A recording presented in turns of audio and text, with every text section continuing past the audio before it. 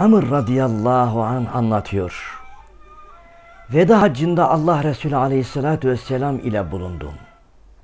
Allah'ı andı, hamd etti, öğüt verdi ve sonra şöyle dedi. Bu kutsal gün hangi gündür? En büyük hac günüdür dediler.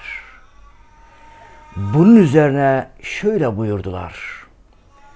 Sizin kanlarınız, mallarınız, ırzlarınız ve namuslarınız size tıpkı bugünümüzün haram kılındığı gibi, bu beldeniz gibi, bu ayınız gibi haramdır.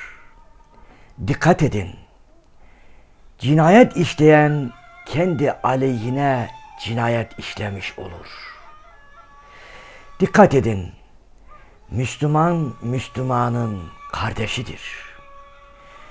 Müslüman kardeşinin hiçbir şeyi kendisi helal etmedikçe diğer Müslümana helal olmaz.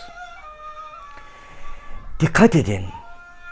İslam öncesindeki bütün faizler kaldırılmıştır. Verdiğiniz ana paranız sizindir. Haksızlık yapmayın, haksızlığa da uğramayın. Dikkat edin. İslam'dan önce işlenen her türlü kan davası kaldırılmıştır. Dikkat edin. Sizin kadınlarınızın üzerinde haklarınız vardır.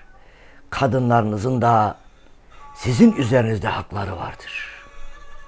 Sizin kadınlarınızın üzerindeki bulunan hakkınız yataklarınızı çiğnetmemeleri ve evinize girmesinden hoşlanmadığınız kimselere izin vermemeleridir.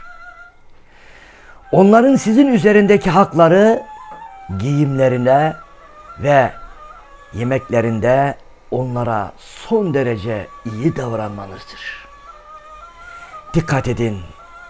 Burada bulunanlar bulunmayanlara bildirsin.